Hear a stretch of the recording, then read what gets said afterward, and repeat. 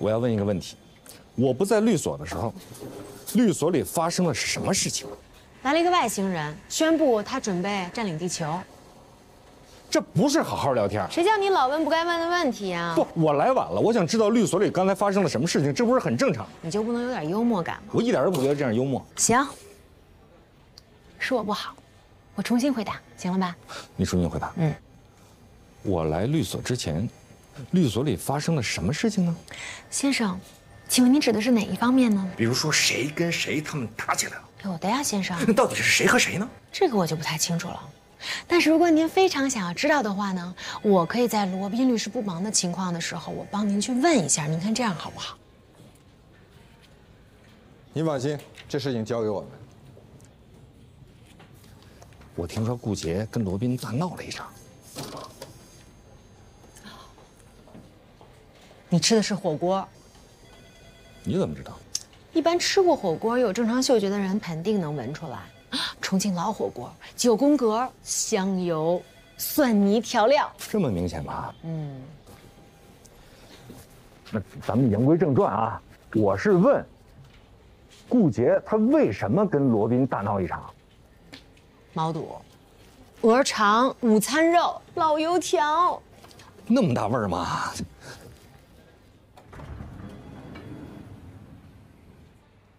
罗老师，您刚才为什么要打断我？打断你需要给你理由吗？您知道我要说什么吗？您就打断我。给老板普及一下什么叫员工的隐私权，教育老板不要侵犯职工的权利，让老板觉得比你笨，比你傻，什么都不懂，这需要你来教吗？我去他们公司做过调查，大部分员工他们都感觉到非常的压抑，不喜欢公司的文化。他们那个前运营总监之所以给其他公司投简历，也是因为这个原因。谢天谢地，幸亏我打断了你。为什么？那我问你，如果不打断你，你打算跟他说什么？我打算跟他说，白总，我知道您之所以在公司的电脑上安装职场监控软件，那是因为您发现不打招呼就离职的员工以及消极怠工的员工实在是太多了，其中有一部分还是高管，所以这让您非常的恼火，所以您就决定在公司的电脑上安装职场监控软件。这样一来，不仅可以实时查岗，而且还可以预知谁有离职倾向。那又怎么样呢？可是事实上，员工和高管，他们为什么要离职？真正的原因是他们对公司很失望。你是在教白敬红如何管理企业吗？请问戴叶小姐，你管理过公司吗？有过什么成功案例吗？我是说，经过我的了解，现在他们公司离职的意愿更加的强烈了。只不过他们为了不被监控到，就选择不在公司的电脑上去投简历、收邮件。公司的监控就只能监控到他们在电脑上干了什么，但是没有办法监控到他们员工脑子里在想什么、干什么。你是怎么了解到的？我跟他们的员工交谈过。谁？告诉我他们的名字。那我不能告诉你。你被炒掉了。啊？明白了吗？我为什么要拦住你、打断你？可是没有可是，我们是法律顾问，是帮助客户解决问题的，所以，请你现在出去好好的了解一下专利法和相关的判例。罗老师，我觉得我们这么做不妥。哪里不妥？这对他们那前设计总监不公平。他的作品公司看不上，让人家反反复复、反反复复修改了那么多年，那人家当然不乐意了。那他可以光明正大的跟公司说不干了呀。为什么要骗公司说自己的父亲生病了，要去照顾自己的父亲？白金红的脾气，刚您也看见了，谁敢跟他说实话呀？所以你的结论是，公司高管可以欺骗公司，叫情有可原；公司加以制裁，就叫不近情理。不，我的意思是说，公司他应该首先先检讨自己。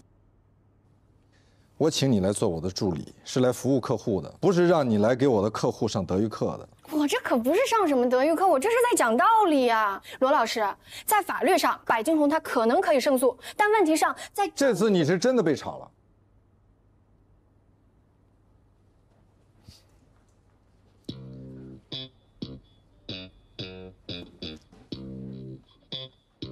罗老师。你跟我开玩笑的吧？这有什么好被炒的？那我再说一遍，你是真的被炒了，回家吧。不可能！刚刚您过来的时候，我看到您的小肩膀咯咯咯抖动了一下，您肯定在跟我开玩笑，您在偷笑对不对？你肯定是在偷笑，我怎么可能会被炒了，对不对啊，罗老师？出去，了解一下相关的判例。好嘞。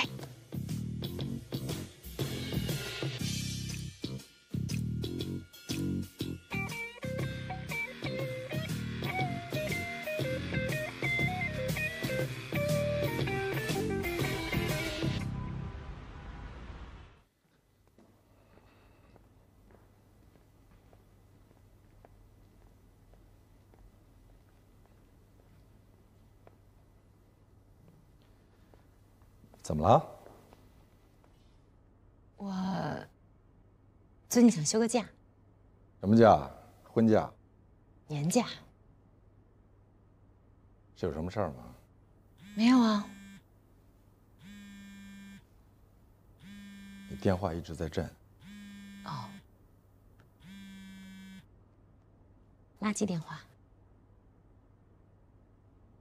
行，那你跟黛西交代一下。嗯，谢谢。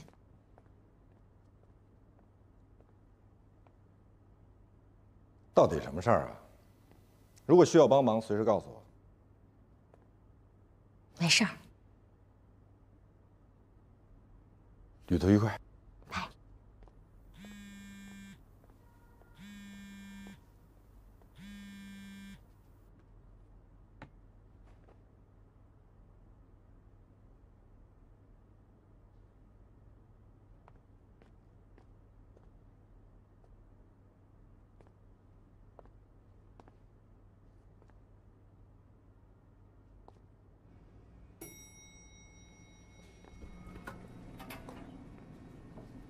嗨，简明姐。哎，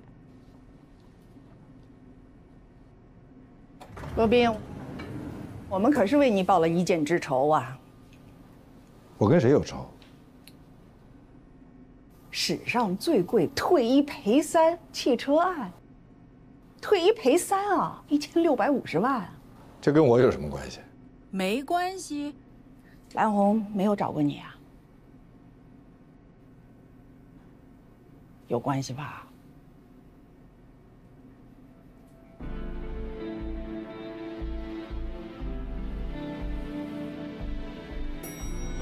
你也去地下车库？当然不。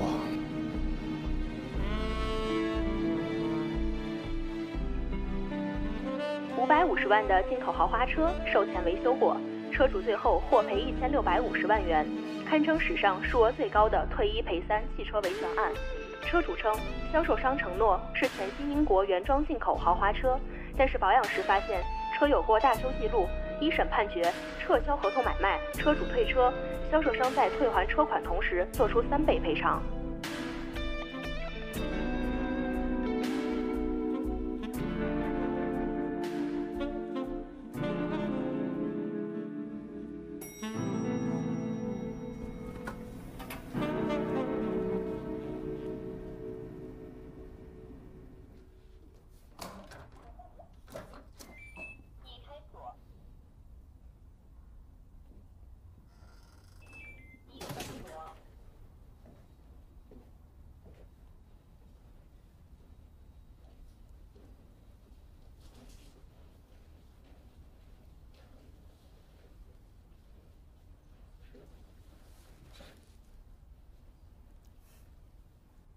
我输入我的生日，门就开了。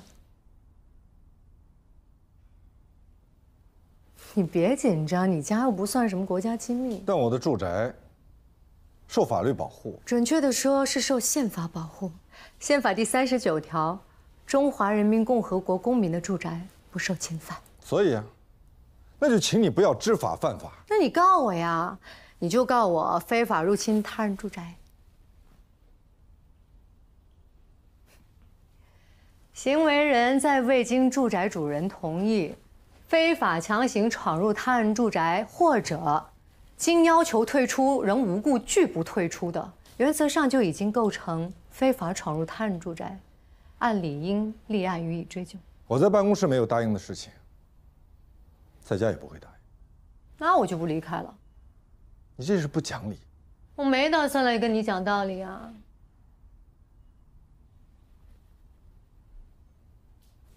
哎，你去哪儿？我走啊。你为什么要走呢？现在是我闯入了你的住宅，你可以报警抓我。你已经劝我离开，但是我拒不离开。报警！我现在帮你打幺幺零。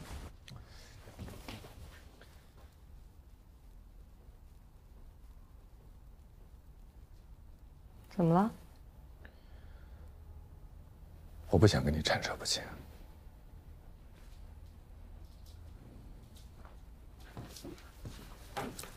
我但凡能找到别的办法，我肯定不会再来求你。但是我没办法了，我一审输了，现在网络上、报纸上全都是我们的负面新闻，说什么这是史上最贵的汽车维权案，我们必须要上诉。二审对我们至关重要，我们不能被贴上不法商家的标签。我老公被气的，心脏病犯了，现在还在医院里躺着。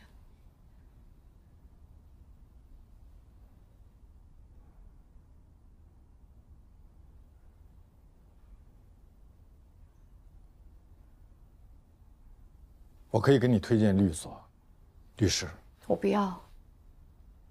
你认识的律师我也认识，你推荐的律所我也能找到。但是我不信任他们。我们一审找的也是大律所的大律师，官司输了，他一点歉意都没有。那依你的意思，官司输了，律师要给你写一份检查？我不是这个意思。我自己也有律师证，所以你应该知道。我知道，我知道我们胜诉的机会渺茫。但是哪怕只有一点点希望，我也要去努力。我们输不起。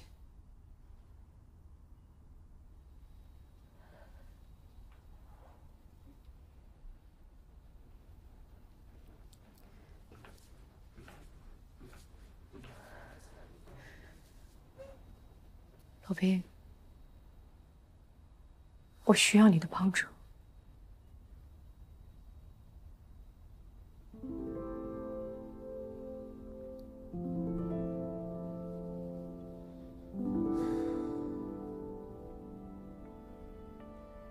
你可以去找何塞。何塞，你怎么想的把我推给他呀？何塞和汽车流通协会专家委员会比较熟。那有什么用呢？你们之所以一审被判赔一千六百五十万，是因为你们被认定消费欺诈。只要你们能够证明你们的行为不是欺诈行为，怎么证明？让何塞去找专家，说明 PDI 程序是行业惯例，是否告知消费者，并没有法律明文规定，并且更换车窗、补漆行为，并不会对人身健康、安全构成潜在威胁或者实际损害，所以不构成消费欺诈。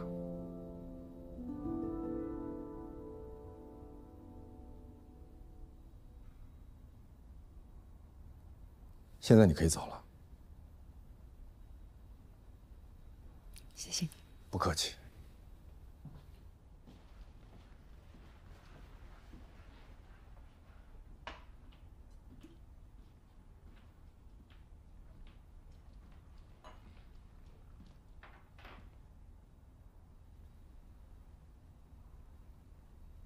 以后我们可以做朋友吗？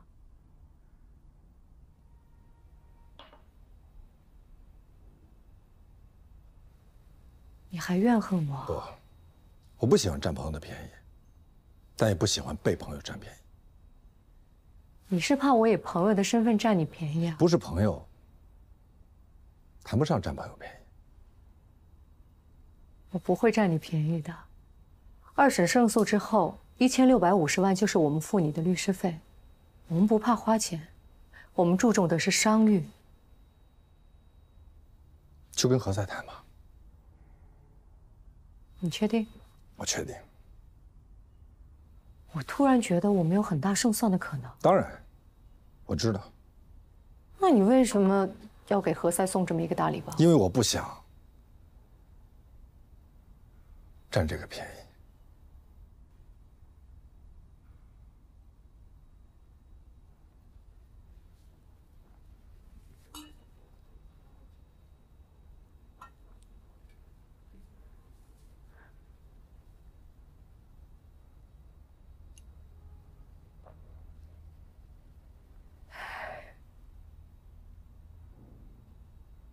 我不知道我会不会后悔。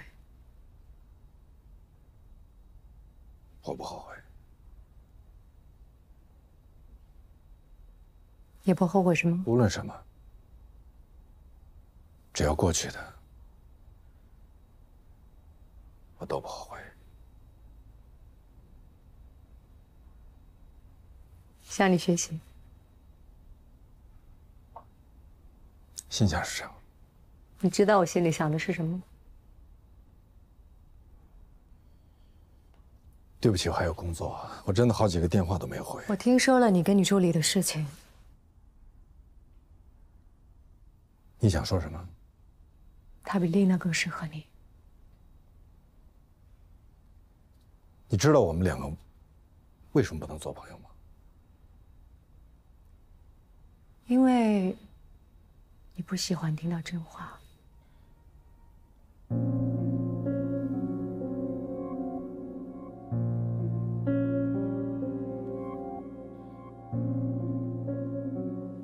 谢谢你的酒，走了。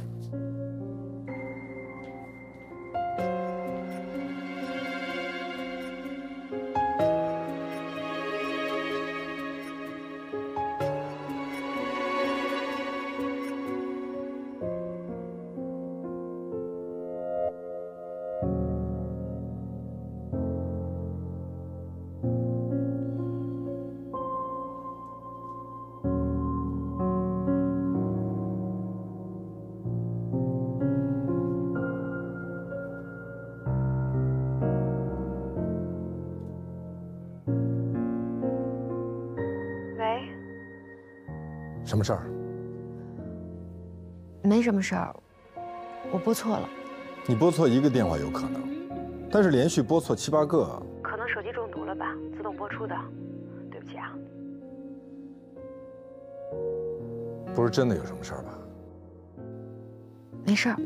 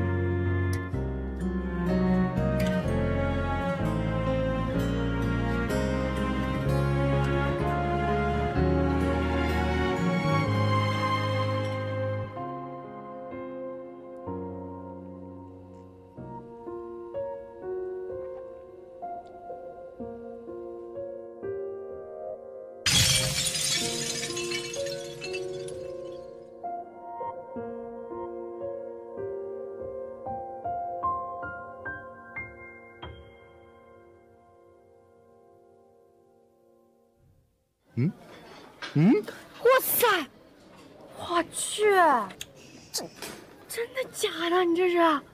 没错，全世界排名前十的法学院。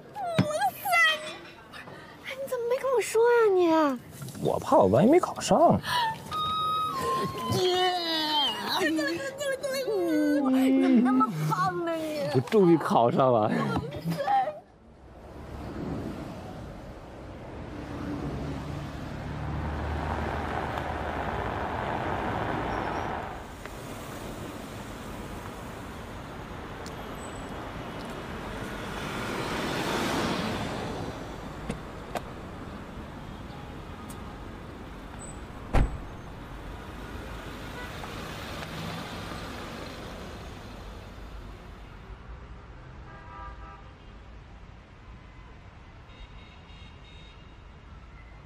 这事儿今儿必须得解决了。有资格跟我谈？什么？你你松手！你干什么？啊！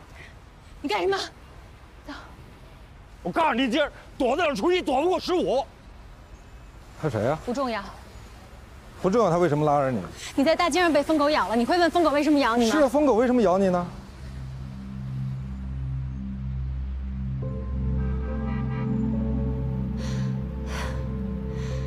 你吃早饭了吗？没事，我去帮你买。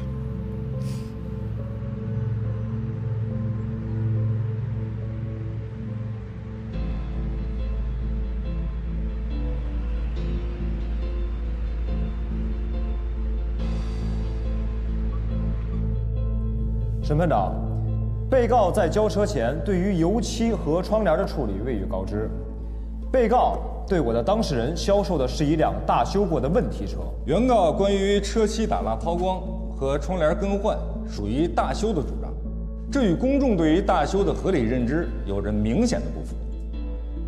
经销商提供了车辆的全套正式进口手续，车辆未被他人使用，符合合同约定。被告未提供任何证据证明已告知车主本车的维修情况，故可以认定其故意隐瞒车况，侵犯了消费者的知情权，故构成了欺诈。经销商与原告签订销售合同之时，新车尚未到店，也就是说，经销商当时并不知道车辆存在的瑕疵和问题，而经销商将车辆交付给原告之前，已经对车辆存在的瑕疵和问题进行了处理，并且进行了记载，将这些记载的信息上传到原告可以通过一定途径查询到的网络平台上。也就是说，经销商并没有故意隐瞒的意图。你好，你好，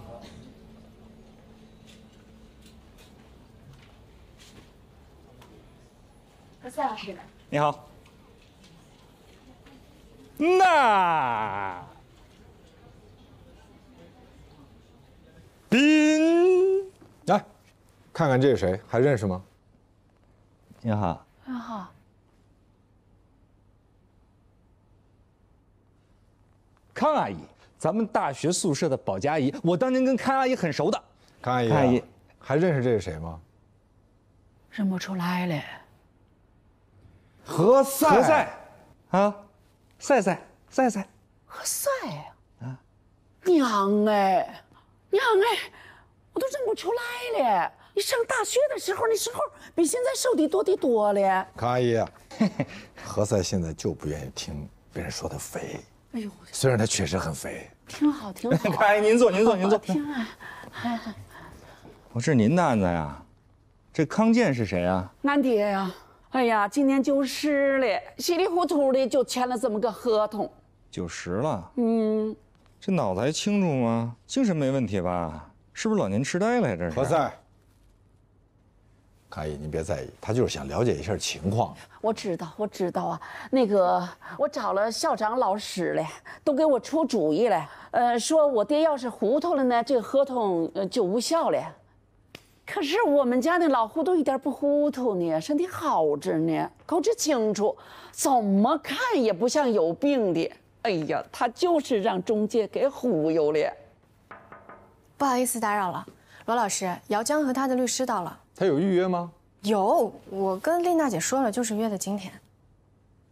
康阿姨啊，啊，这样我来了一个客户，要去先接待一下。你跟何赛说，您放心，我们一定替你讨回公道。哎，你忙忙啊！你坐着，你坐着。哎哎，你忙你的哈。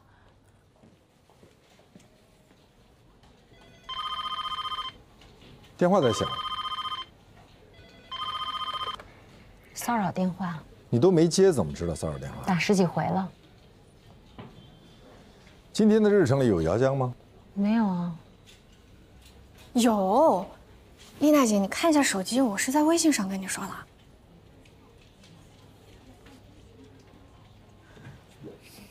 对不起，我忘了，可约到一块儿去了。等一下，你记得把康阿姨的合同复印一下。好，我现在就去。这两天你不是说要休假吗？我先不休了。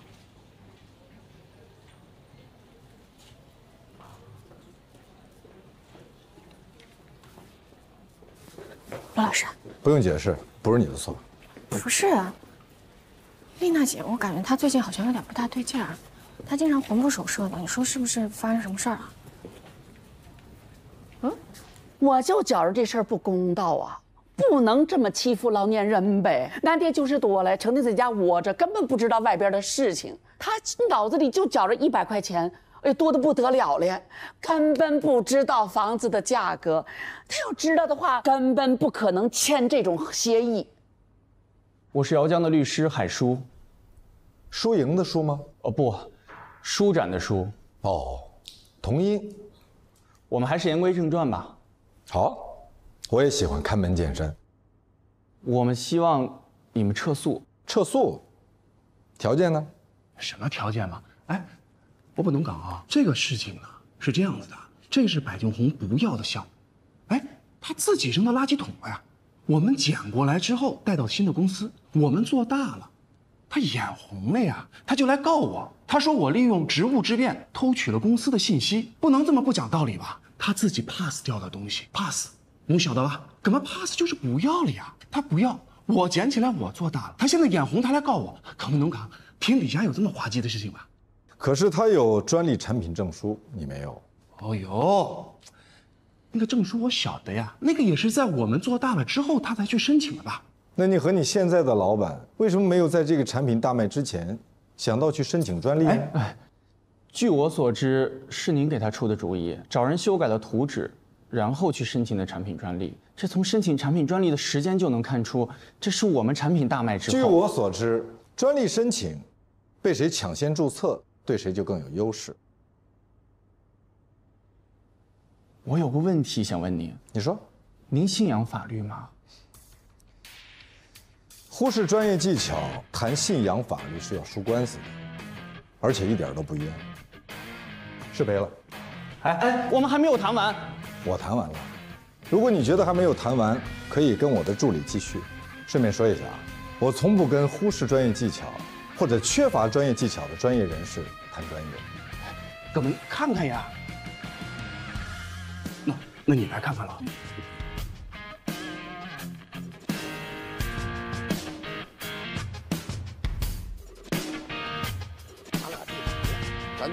法律程序了，知道吗？我已经到律师事务所了。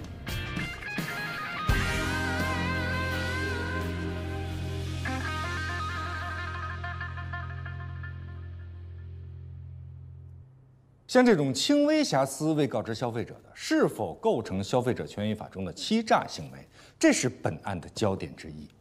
哎，哎，我接受个电话采访啊，抗议，你说，哭着走了。啊，您说，您说啊，对，对对，你怎么可以让他哭着走了？你还指责我为什么让他哭着走？是你把他甩给我的，好不好？我没有把他甩给你，我是因为有其他的客户。你明知道康阿姨这个时间段会来，你干嘛还约其他的客户？我说了，我马上就回来。马上是多久？一分钟？五分钟？我等了你整整十分钟，你知道吗？律师出售的是时间，你把你自己的时间用作收费咨询，让我在这给你还人情啊？你把康阿姨当做人情，你把康阿姨当做情人啊？请你以后不要指责我没有拿你当朋友。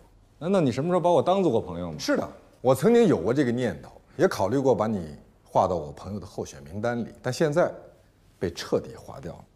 鬼才相信！没错，因为你从来不知道什么叫相信。哎，康阿姨那合同就是这么签的，对吧？白纸黑字的，你让我怎么样啊？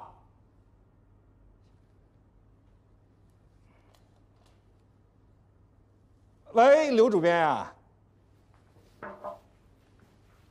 他们走了，我给了他们逃生的机会，但是他们觉得冤。打官司打的就是证据，他应该在离开百金红公司当天就把自己的作品申请专利。他只是一个设计师，他不懂得产品专利法。他以后就会懂了。也许他没有以后了。你是说我毁了他？我是说，您应该设身处地的为他着想一下。他在百金红那里并没有得到赏识，他自己辛辛苦苦设计出来的东西，被老板亲口告知没有市场前景，他当时都抑郁了。不是他对不起他原来的公司、原来的老板，而是他原来的公司、原来的老板对不起他。我们不是他的律师，我们是百金红的律师。但是这对他不公平。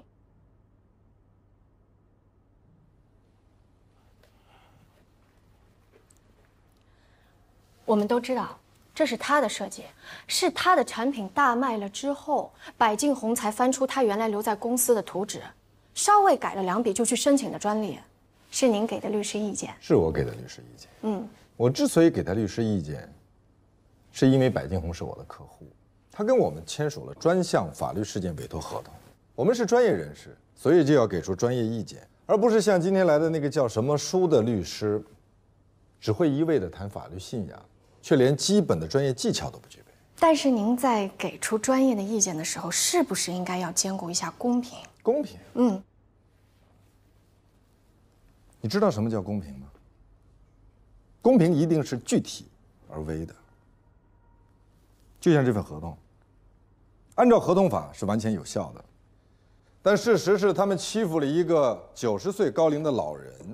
那难道说我就可以这样站在法庭上，仅仅指责他们缺德，就可以讨回公道、赢得官司吗？但是法律最重要的，还是应该要维护公平，而不仅仅是判定合同的有效性。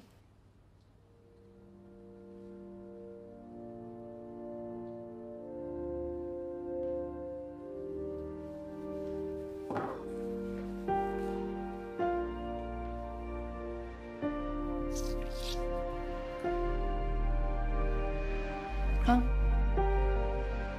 还有事吗？您再考虑一下。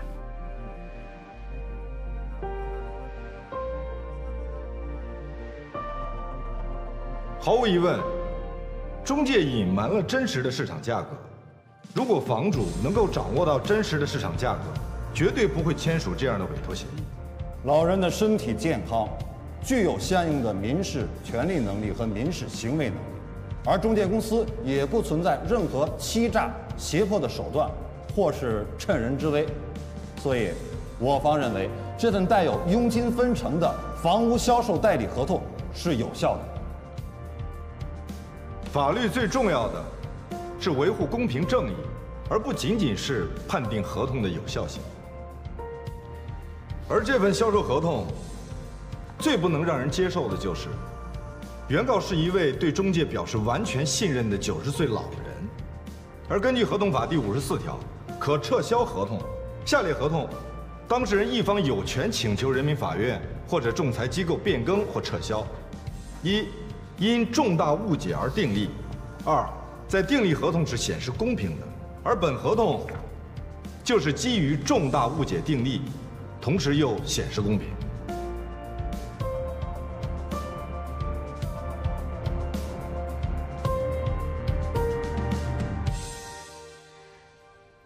小罗儿哎，太谢谢你了，我你看我也不知道怎么表示你。康阿姨，我知道，如果您一定要谢呢，首先您得谢我们封主任，他很支持我们工作。然后呢，你应该谢谢我的助理，就是他黛西。那句法律最重要的就是维护公平和正义，而不仅仅是判定合同的有效性，就是他说的。啊，啊，这，哎呦，谢谢你了，谢谢助理姑娘了，谢谢了。康阿姨，哎，康阿姨，对不起啊，那个你们稍微打断一下。史上最贵退一赔三汽车案二审终审判决，被告赔偿原告十一万元，还承担了三十一万一千元的诉讼费，神反转。老大，我建议啊，嗯，呃，从现在开始，嗯，我们应该形成一个传统啊，那就是每赢了一个官司，我们大家应该一起来庆祝一下。如果这样的话，罗宾律师一周就得开个 party。不不不，我是说呢，像这种啊重大的官司啊，实现了神反转的，我觉得这样应该形成一个我们的律所文化，我们要让公众知道，我们的律所是一个什么样的律所。我们要召开新闻发布会，同时呢，应该让主管部门知道。律律协呢，准备表彰罗宾律师，为他扶持弱势群体做出的努力。我们律所呢，已经上报了总部管理委员会，准备晋升罗宾律师为高级合伙人。哇！恭喜恭喜恭喜！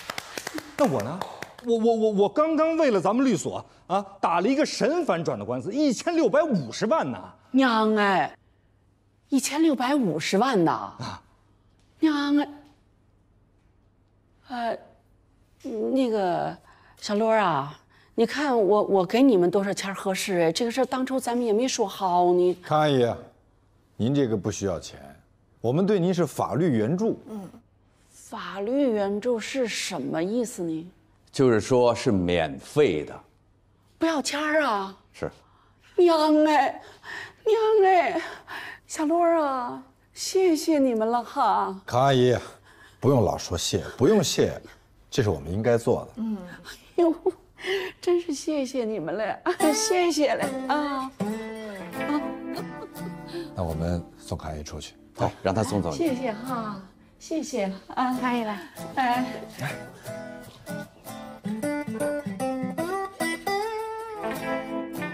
你可以下班了。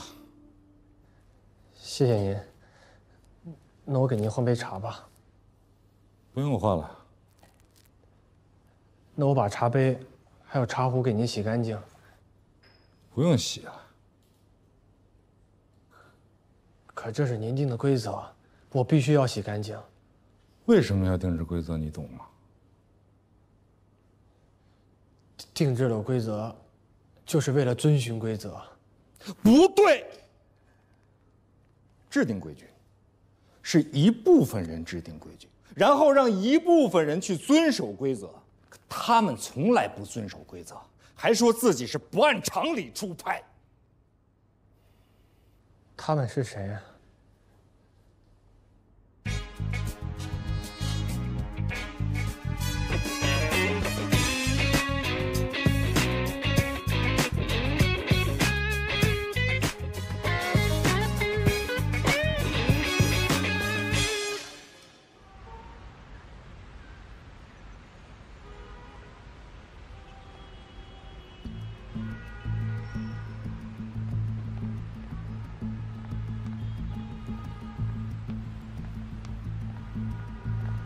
说好了你不能来这儿吗？我们说好的是我不去你办公的地方。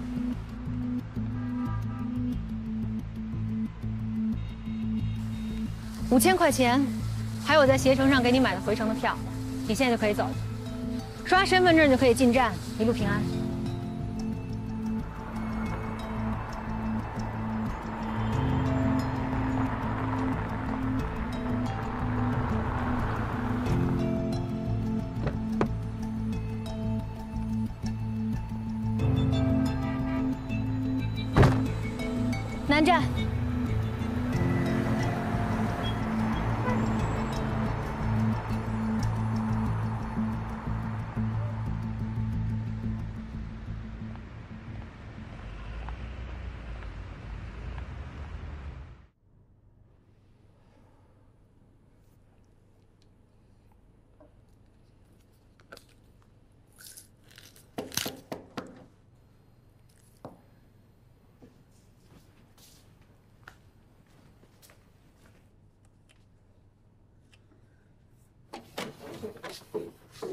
你怎么又来了？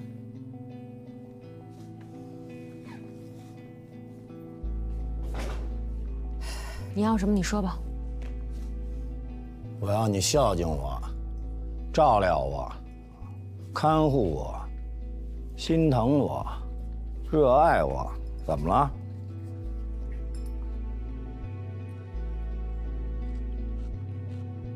嗯，这香油进口的吧？还真香嘿！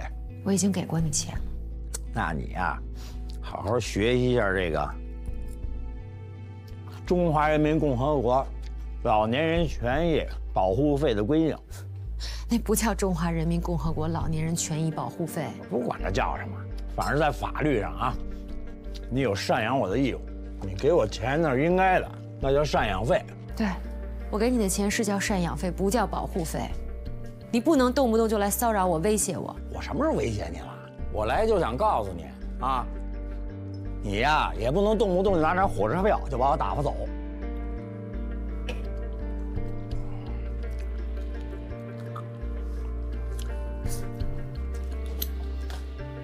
这是我家，这是我女儿家。哎，要不你打电话报警啊？我看警察能把我怎么着？反正我没地儿去。你没地儿去也不能在这儿。你对我有误解，娜娜。丽娜，